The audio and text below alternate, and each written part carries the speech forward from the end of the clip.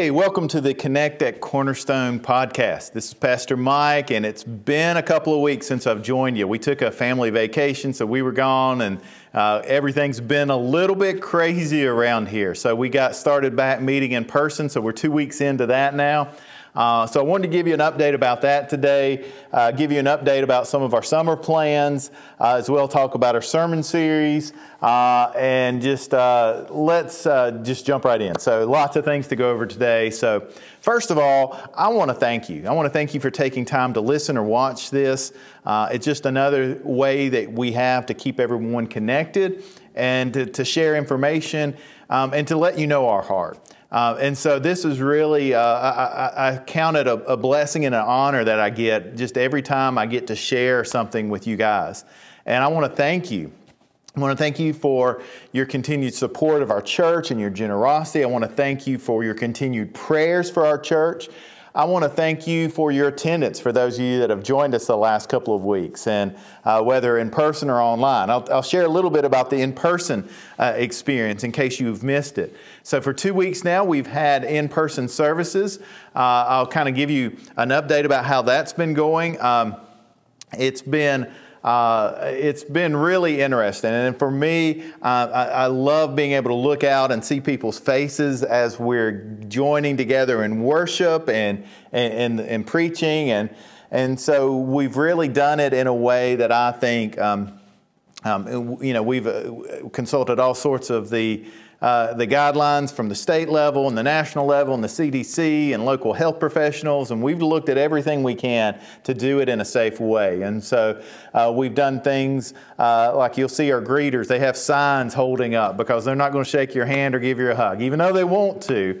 Uh, we're trying to, to do, do this in a, in a safe way. We've got hand sanitizing stations when you come in. We've got masks available. If you don't have one, you can pick one up and wear it. Uh, we are continuing to wear masks right now.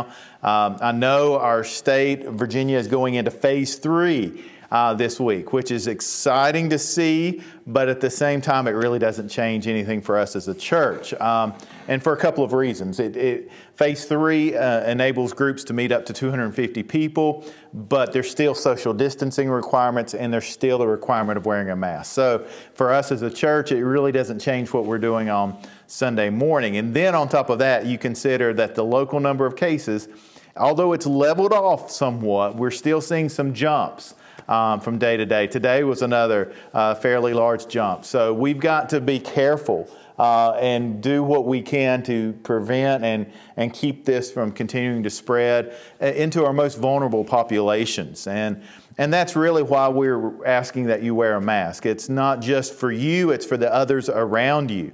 Uh, and then you think about not only you and your, you know your family, but the other families that are here, and then their parents and grandparents, and, and little children, and people that are immunosuppressed, and uh, it really is. We've just got to, to, to, to, really think about what we can do to help others in this time. So uh, it's a small sacrifice that we make, but it's one that when we do it, uh, man, I'm so thankful we can still get together and worship. So there's just something about being in person and being here um, and looking at each other and being able to catch up and, and hear about how things are going. So Thank you guys that have been attending. Uh, if you've been holding back and you're like, I'm not quite sure yet, hey, we understand that's fine.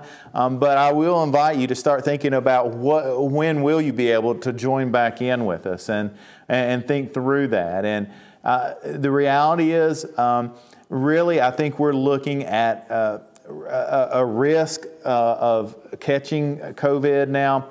Um, I, I, think we're looking at a risk for, for the next six to eight months. I, this is not going to go away next week or two weeks or three weeks or four weeks. Uh, and so we've got to think about how we can uh, go about everyday life and do it in a safe way um, and, and, take the necessary precautions.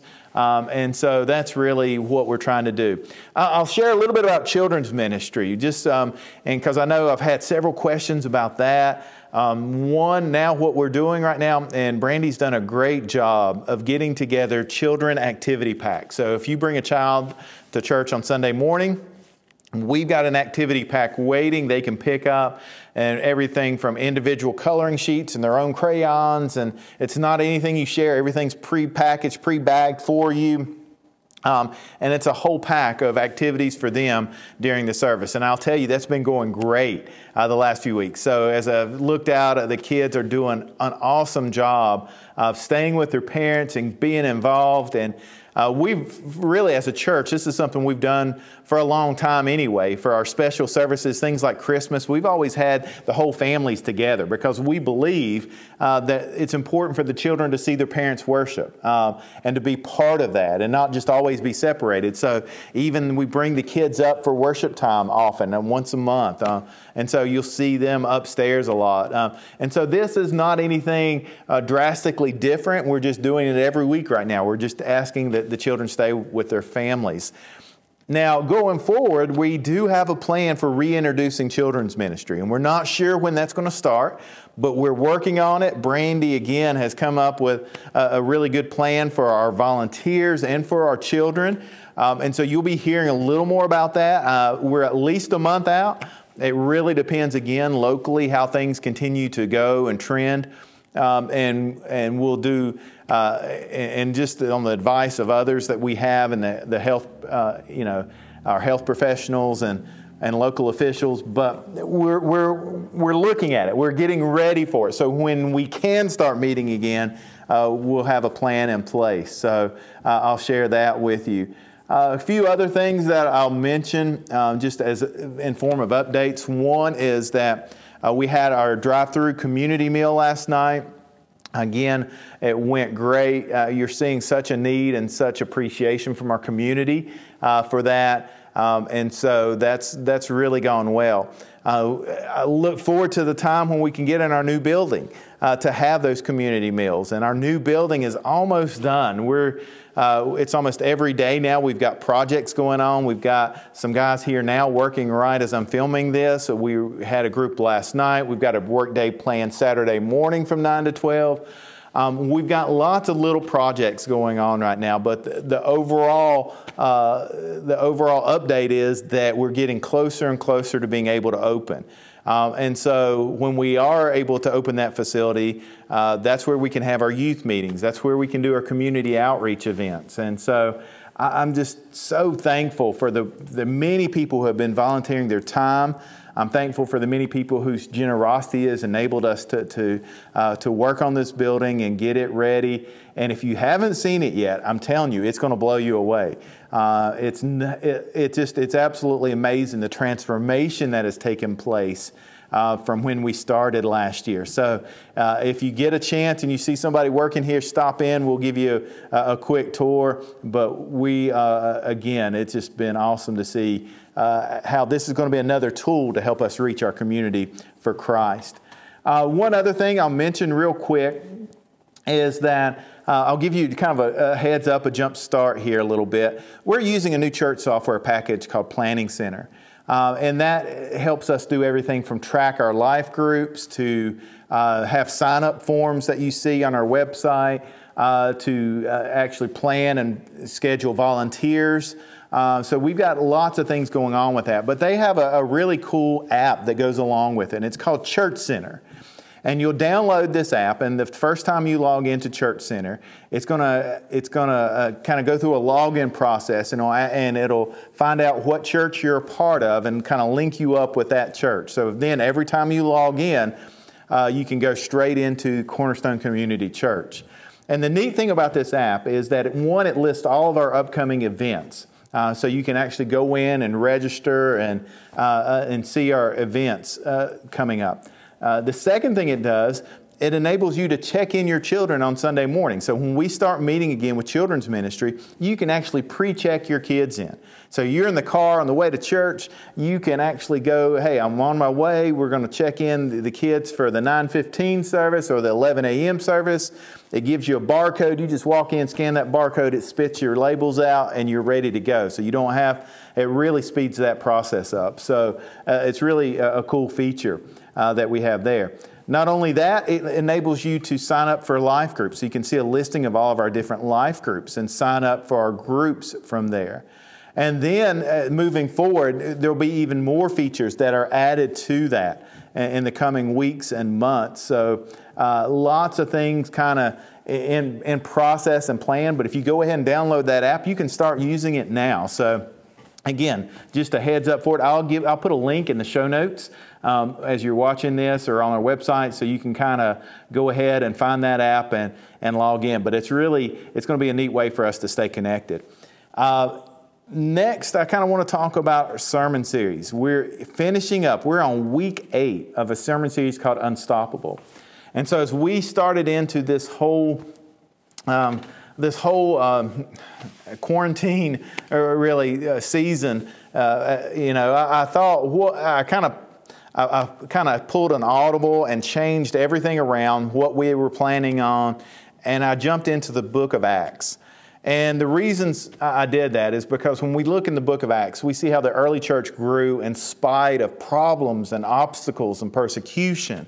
Um, and we see that the church not only grew, but it thrived in, in, that time period. And, and so there's a lot we can learn from that. And that's really what we've been doing. We've been seeing how the kingdom of God was unstoppable um, in the early church and how we can can, can learn from that and, and, and use that as we continue to reach our community. So, uh, this week we're wrapping it up, week eight. We're talking about what it looks like to live a life on mission. Um, and so, if, if you have been keeping up to date, this is really going to show okay, the book of Acts, you see this early church growing, you see it spreading. What does that mean to us today?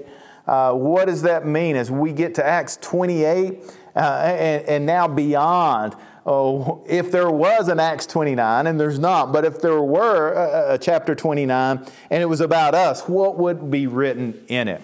And so that's going to be the message this week. Um, I really encourage you again, invite someone, join us, join us online or join us in person. But this is a message that you don't want to miss because I think it's really important for all of us to understand what God has called us to do and who He's called us to be.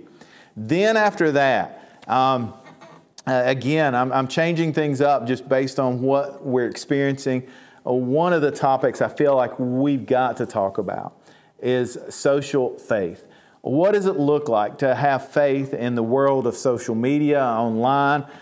I know you see this, and it's not just me, but we're seeing the world divided. We're seeing people talk at each other instead of with each other.